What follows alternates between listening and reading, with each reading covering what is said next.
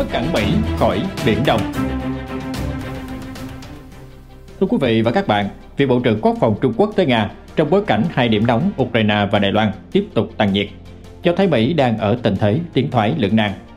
Khi chiến trường Ukraine đang được cho là đang bế tắc.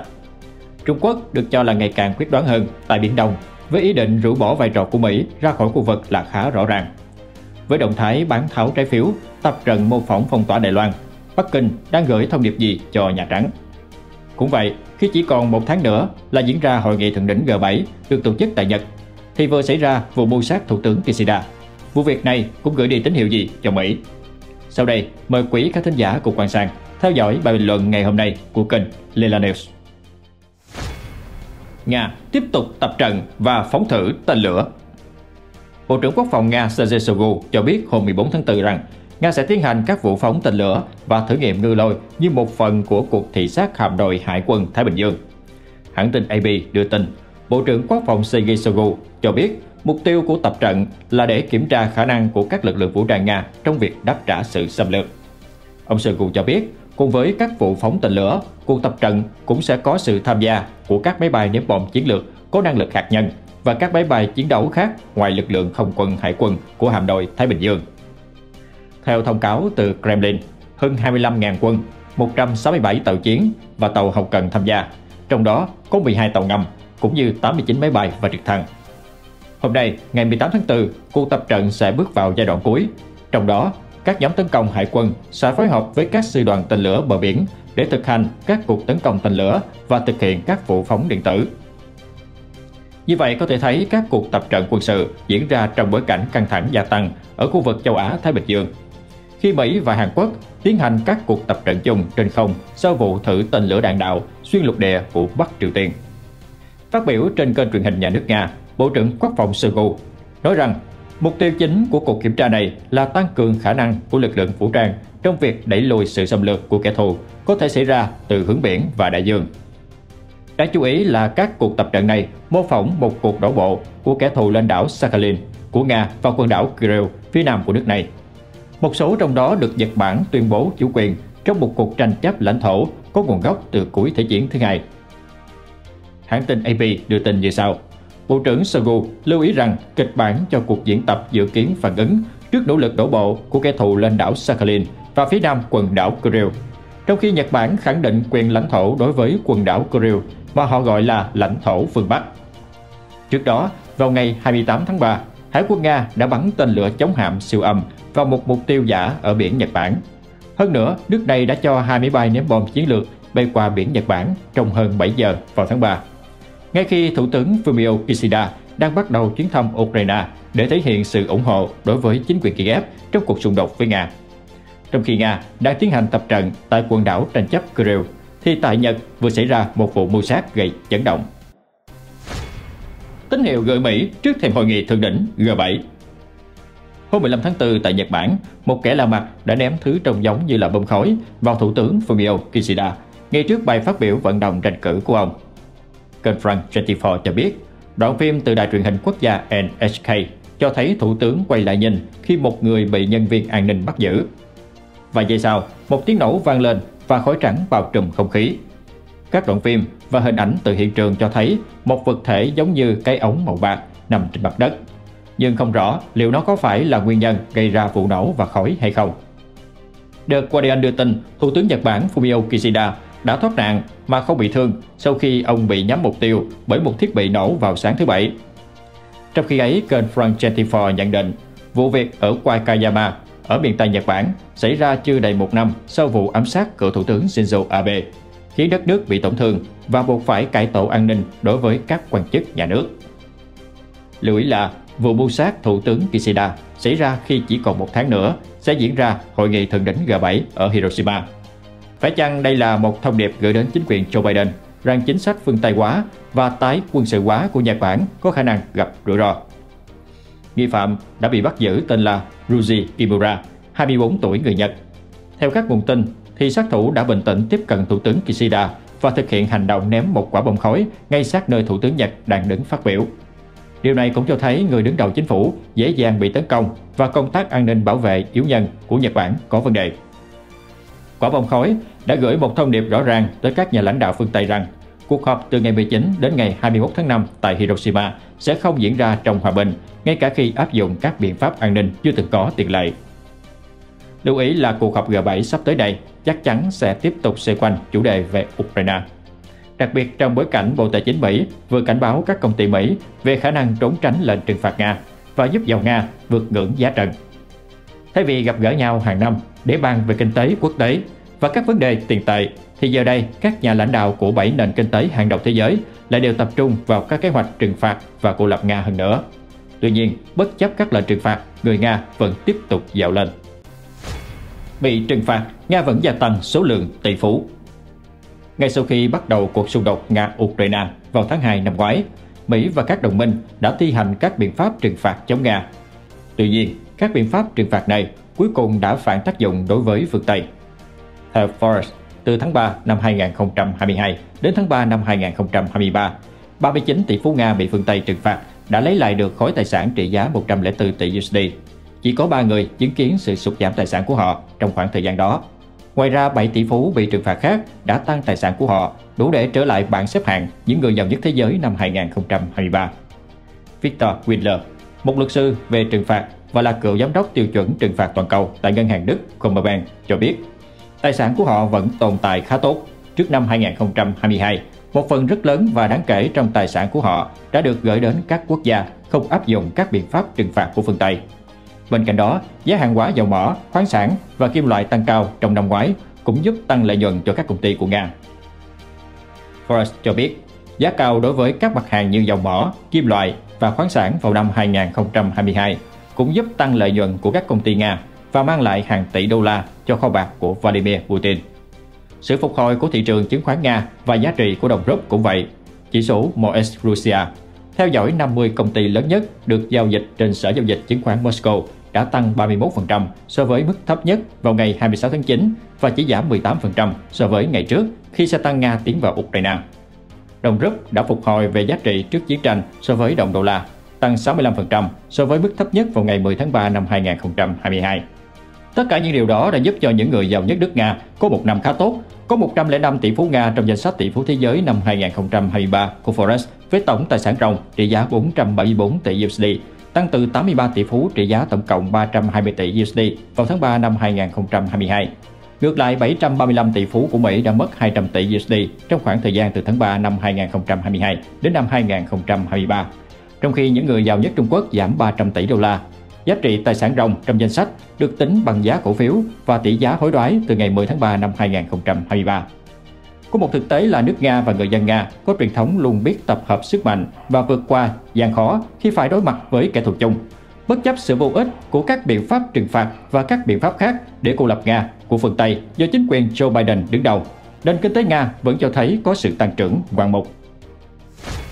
Trung Quốc chuẩn bị chiến tranh với Mỹ Hôm 16 tháng 4, Bộ trưởng Quốc phòng Trung Quốc Lý Thường Phúc đã có chuyến thăm chính thức Nga trong 4 ngày, theo lời mời của người đồng cấp Nga Sergei Shoigu. Đây là chuyến công du nước ngoài đầu tiên của ông Lý Thường Phúc sau khi được bổ nhiệm làm người đứng đầu quân đội Trung Quốc vào tháng 3 năm 2023.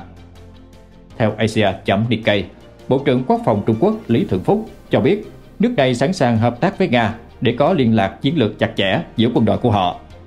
Ông Lý đã gặp Tổng thống Nga Vladimir Putin tại Moscow vào Chủ nhật và nói Trung Quốc sẵn sàng hợp tác với Nga để có những đóng góp mới cho việc duy trì an ninh và ổn định của thế giới và khu vực. Lưu ý là chuyến thăm của người đứng đầu quân đội Trung Quốc diễn ra ngay sau chuyến thăm Nga của Chủ tịch Tập Cận Bình vào tháng trước. Khi ông Tập gặp Tổng thống Putin để thảo luận về một loạt vấn đề chính, bao gồm cuộc xung đột Ukraine và các biện pháp trừng phạt do phương Tây lãnh đạo đối với Nga. Tất nhiên cả hai chuyến đi tới Nga của các quan chức hàng đầu Trung Quốc đều đang được chính quyền Joe Biden theo dõi sát sao. Với việc Mỹ cùng lúc phải đối phó với hai điểm nóng Ukraine và Đài Loan do chính quyền Biden tạo ra, Nhà Trắng đang trở nên bồn chồn hơn bao giờ hết. Có lẽ là vậy khi nước Mỹ dường như đang tiến gần đến một cuộc chiến với Trung Quốc hơn hầu hết mọi người nhận ra. Thời điểm này, các quan chức Mỹ ở Washington đang lo ngại Trung Quốc có thể áp đặt một cuộc phong tỏa toàn diện đối với Đài Loan như là một trong những bước đầu tiên trong chiến dịch thống nhất của Bắc Kinh. Nhiều người Mỹ không nhận ra rằng một động thái như vậy sẽ là một vấn đề thật sự lớn. Nếu Trung Quốc phong tỏa Đài Loan, Mỹ và Trung Quốc sẽ tiến sát tới bờ vực chiến tranh. Đương nhiên, dòng chip máy tính cao cấp từ Đài Loan tỏa ra thế giới, chủ yếu là tới Mỹ và các quốc gia đồng minh sẽ đột ngột bị chặn lại. Điều Trung Quốc có kích hoạt giải pháp quân sự để thôn tính Đài Loan hay không? Tuy nhiên, trong những tháng gần đây, Trung Quốc đã có những động thái nhằm giảm tiếp xúc kinh tế với Mỹ và một trong những động thái đó là bán tháo trái phiếu kho bạc Mỹ.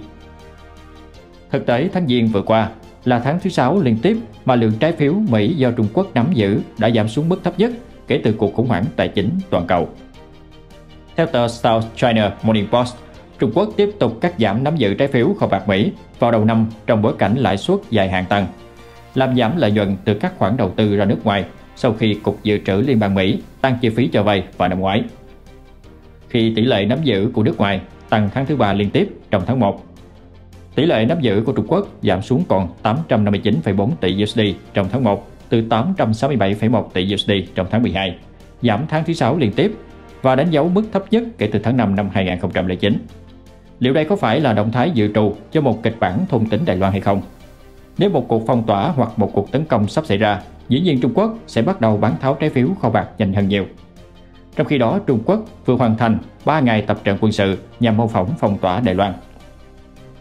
Kênh CBS News đưa tin, Trung Quốc đã hoàn thành 3 ngày diễn tập quân sự nhằm mô phỏng phong tỏa Đài Loan. Cuộc tập trận bao gồm một tàu sân bay và máy bay ném bom có khả năng mang theo đầu đạn hạt nhân khi căng thẳng tiếp tục gia tăng sau cuộc gặp giữa Chủ tịch Hạ viện McCarthy và Tổng thống Đài Loan Thái Anh Văn. Giới phân tích tin rằng Trung Quốc thực sự đang cho thế giới thấy những gì họ đang định làm. Trong các cuộc tập trận này, lần đầu tiên Trung Quốc thực hành các cuộc mô phỏng tấn công Đài Loan từ phía đông. Theo tờ Washington Post đưa tin, tàu sân bay mới nhất của Trung Quốc lần đầu tiên thực hành tấn công Đài Loan từ bờ biển phía đông của hòn đảo, thể hiện quyết tâm ngày càng tăng của Bắc Kinh nhằm phô trương sức mạnh vượt ra ngoài eo biển Đài Loan và tiến xa vào Thái Bình Dương. Khu vực có truyền thống do Mỹ và các đồng minh trong khu vực thống trị. Nếu Trung Quốc bao vây hoàn toàn hòn đảo, Đài Loan sẽ hoàn toàn bị cắt đứt khỏi sự giúp đỡ của Mỹ. Ngược lại, nếu Mỹ cố gắng phá vỡ sự phong tỏa này, điều đó có nghĩa là Mỹ và Trung Quốc sẽ giao tranh. Tất nhiên, Trung Quốc không chỉ sử dụng tàu chiến để áp đặt phong tỏa, mà còn gửi nhiều máy bay chiến đấu tới Đài Loan hơn bao giờ hết. Bộ Quốc phòng Đài Loan cho biết đã có 91 máy bay chiến đấu và 12 tàu quân đội Trung Quốc đã được phát hiện chỉ trong vòng 12 tiếng.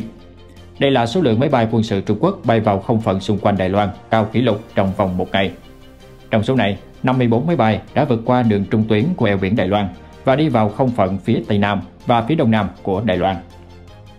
Ngoài ra, quân đội Trung Quốc còn tung ra một video hoạt hình mô phỏng cuộc tấn công tổng lực vào Đài Loan. Tờ Daily Mail đưa tin, quân đội Trung Quốc tuyên bố sẵn sàng chiến đấu và đập tan nền độc lập của Đài Loan.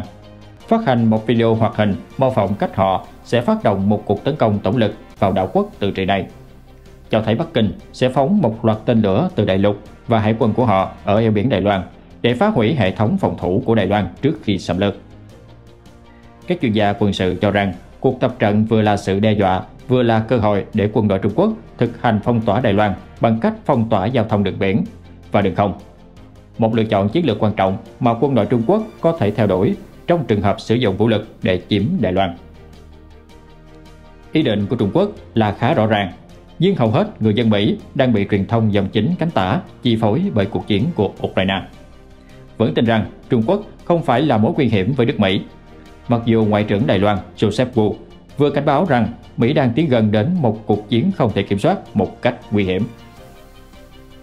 Theo kênh Fox News đưa tin, Ngoại trưởng Đài Loan Joseph Wu nói với Fox News Sunday các cuộc tập trận của quân đội Trung Quốc trong vài ngày này rất nghiêm túc. Nếu bạn nhìn vào các cuộc xuất kích của các lực lượng không quân Trung Quốc cùng với các tàu thì họ đang tiến rất gần đến Đài Loan và bất kỳ tai nạn nào cũng có thể châm ngòi cho một cuộc chiến không thể kiểm soát giữa Đài Loan và Trung Quốc. Và nếu các quốc gia khác đang cố gắng can thiệp, đó có thể là khởi đầu của một cuộc chiến tranh quy mô lớn. Đã buồn thay, Ngoại trưởng Đài Loan hoàn toàn đúng. Nước Mỹ đang ở rất gần bờ vực của chiến tranh với cả hai cường quốc Nga-Trung cùng một lúc. Nhưng chính quyền Joe Biden vẫn tiếp tục gia tăng căng thẳng hơn nữa với Nga trong khi phớt lờ mọi lửa đang nóng lên ở khu vực châu Á, Thái Bình Dương. Không giống như cuộc xung đột ở Ukraine, không có giải pháp hòa bình rõ ràng nào cho cuộc khủng hoảng này tại Biển Đông. Trong khi Bắc Kinh bị ám ảnh bởi Đài Loan và coi thống nhất hòn đảo này là một ưu tiên rất cao, thì người Mỹ đơn giản là không thể cho phép Trung Quốc hành động quân sự chống lại Đài Loan.